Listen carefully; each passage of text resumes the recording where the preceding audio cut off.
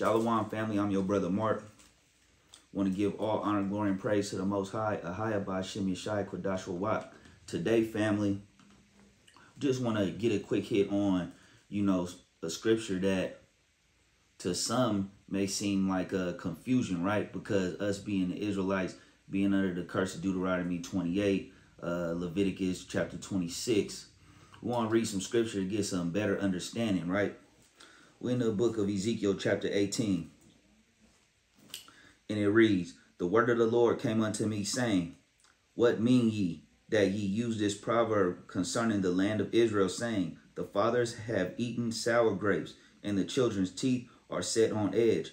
As I live, saith the Lord God, ye shall not have occasion any more to use this proverb in Israel. Behold, all souls are mine. As the soul of the Father, also the soul of the Son is mine. The soul that sinneth, it shall die.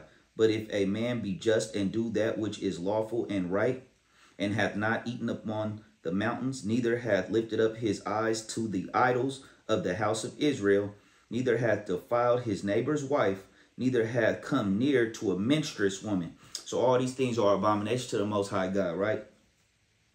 And hath not oppressed any, but hath restored to the debtor his pledge, hath spoiled none by violence, hath given his bread to the hungry, and hath covered the naked with a garment. So if you have done these things, if you have not oppressed any, if you have restored the debtor his pledge, if you have not spoiled any by violence, these things are pleasing to the Most High, right? Verse 8, He hath not given forth upon usury, neither hath taken any increase, that hath withdrawn his hand from iniquity, hath executed true judgment between man and man, hath walked in my statutes, and hath kept my judgments to deal truly. He is just. He shall surely live, saith the Most High, thy power.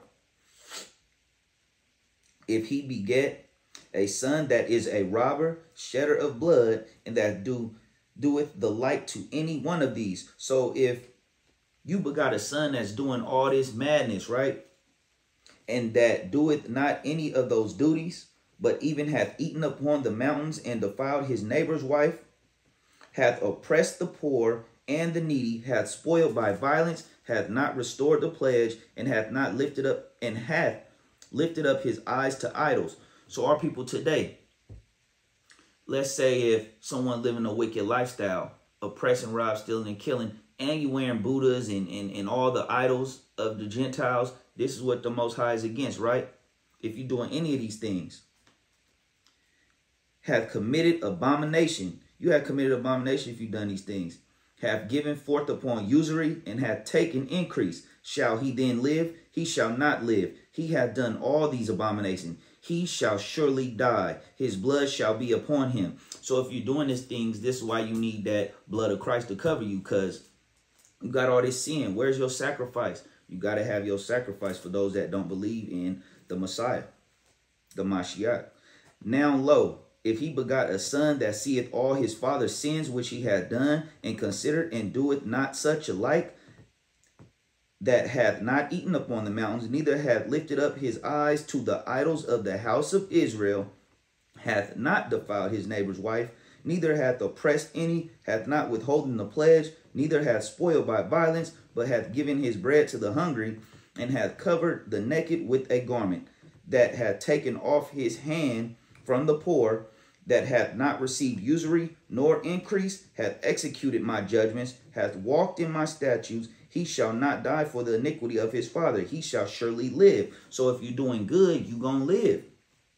As for his father, because he cruelly oppressed, spoiled his brother by violence, and did that which is not good among his people, lo, even he shall die in his iniquity. Here it goes. Verse 19, Yet saith ye, Why?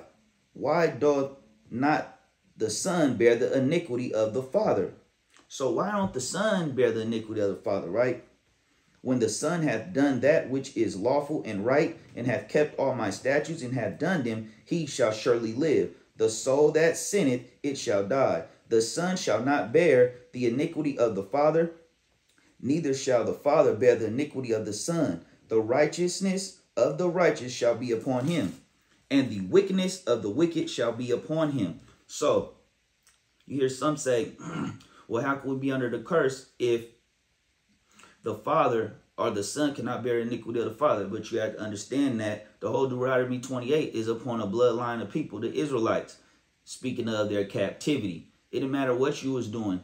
Uh, speaking of uh, being under all nations, your children given into another people, all these curses that came upon the Israelites, that's a separate thing. As far as someone changing their ways and not just standing on being saying product of the environment or they grew up like this or the circumstances. This is what the Most High has to say because once you know better, you do better, right, family? And once you know better, then you just change your ways. That's what this is bringing forth. It doesn't matter if the if the father or mother was doing righteousness and the son goes off. The son got the son or daughter got to come back to the Most High's law, statutes, commandments, and vice versa. If the father or mother was into some wickedness, once you learn the ways of the Most High and you the fear of the Lord is beginning the knowledge, then you start coming back. That's what this is talking about, not the curse of Deuteronomy 28. When Hebrews 11 and 26. For if we sin willfully after that we have received the knowledge of the truth, there remaineth no more sacrifice for sins. So once you know better, you do better, family. The curse of Deuteronomy 28, you live in them. And you live in you live in the prophecies of the Israel's awakening to knowledge of who they are, coming back.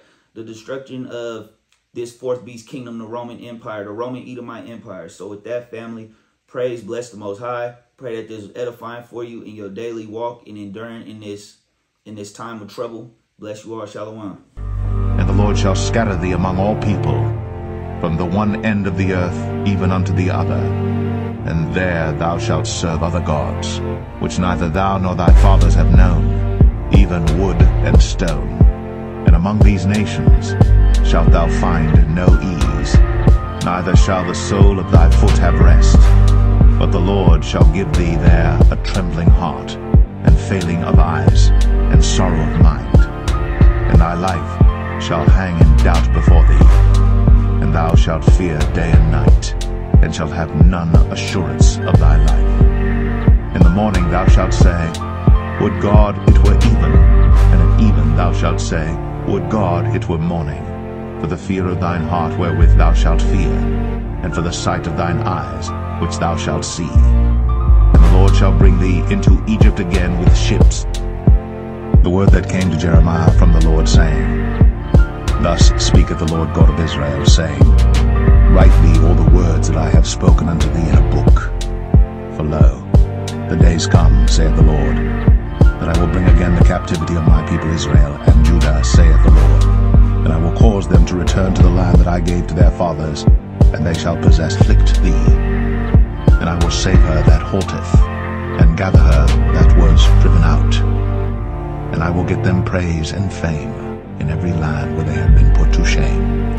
At that time while I bring you again, even in the time that I gather you. For I will make you a name and a praise among all people of the earth, when I turn back your captivity before your